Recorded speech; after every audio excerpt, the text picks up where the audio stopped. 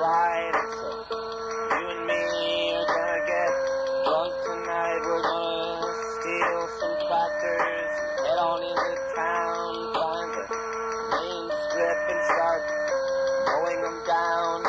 Don't come to the window.